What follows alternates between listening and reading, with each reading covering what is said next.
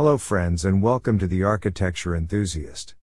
The American architectural panorama, constantly in flux, sought to define itself amidst historical footprints and forward looking aspirations.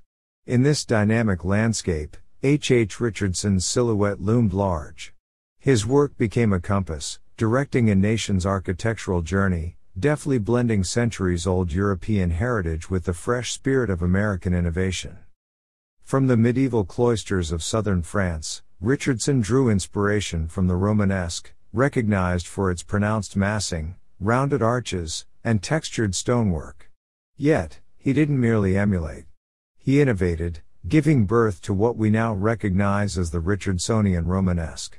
This style, a modern day reverberation of ancient motifs, became the bedrock of his illustrious career.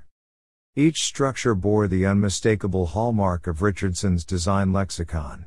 The stone walls, monumental and enduring, weren't just barriers but canvases. He often selected stones indigenous to the project's locale, ensuring a natural synergy with the environment. Depending on the project, the stonework could range from smooth ashlar to rugged rustication, introducing tactile and visual richness. His play with polychrome stonework added another layer of depth, bringing alive facades with subtle color variations. His adoption of the semicircular arch was a masterstroke. Beyond its structural efficacy, Richardson used it as a rhythmic motif, punctuating facades or emphasizing entrances. These arches often bore ornate moldings, sometimes crafted from contrasting stone, transforming them from mere openings to focal artworks. Towers and turrets, with their varied elevations, formed an essential aspect of his designs.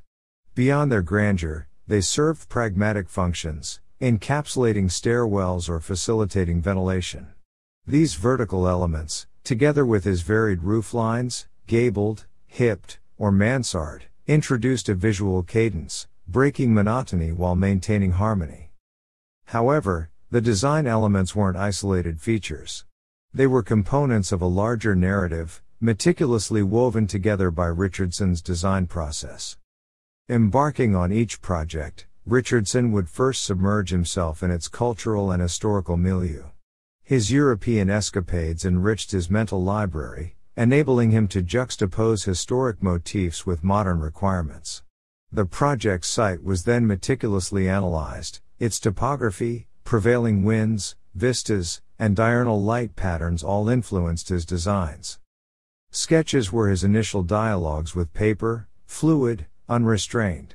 But as the design crystallized, these sketches became more refined, aided by interactions with clients and craftsmen. The craftsmen, skilled artisans of their age, played dual roles, both executing and influencing Richardson's designs.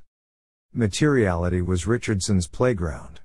He revered the intrinsic characteristics of materials, selecting them not just for visual appeal but for tactile resonance, structural appropriateness, and contextual relevance.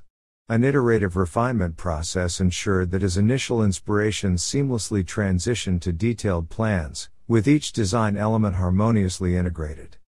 But Richardson's true genius lay in his holistic perspective.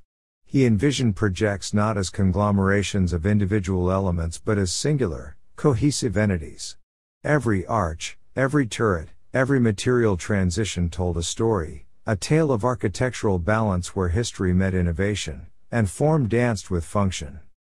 In the expansive timeline of architectural evolution, H. H. Richardson's era stands out, not just for the edifices that bear his signature but for an architectural journey marked by introspection, innovation, and an unwavering commitment to design excellence. His legacy is a testament to an architect who, with every brick and stone, sculpted tales of timeless beauty, harmony, and purpose.